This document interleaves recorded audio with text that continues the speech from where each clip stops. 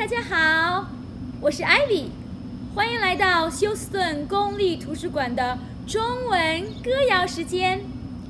今天我要教大家唱一首中文歌谣《小花猫上学校》。小花猫上学校。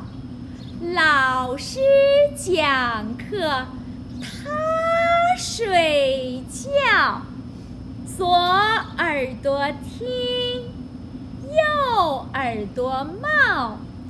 你说可笑不可笑？喵！非常感谢各位加入我们的中文歌谣时间。希望下次可以很快的见到大家，再见。